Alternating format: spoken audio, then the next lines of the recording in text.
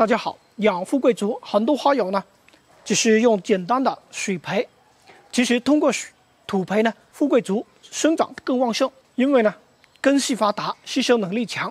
大家看一下我这盆富贵竹，长得非常旺盛，顶端的叶片都是新长出来的，叶片呢比较宽。一直以来我都是用速效的复合肥。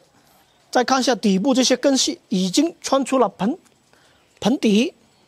非常多，非常发达，所以说呢，养护富贵竹最简单、最有效的方法，用土培，每个月用一小勺速效的复合肥，能满足富贵竹生长所需要的养分，让富贵竹生长得更加旺盛、根系发达。养护过程中，很多花友只是摆放在过阴过暗的环境，容易出现土长、缺少光照的情况下，用土培，我们把它放在通风明亮的地方。每个月一小勺速效复合肥，让它长势更快。好了，再见。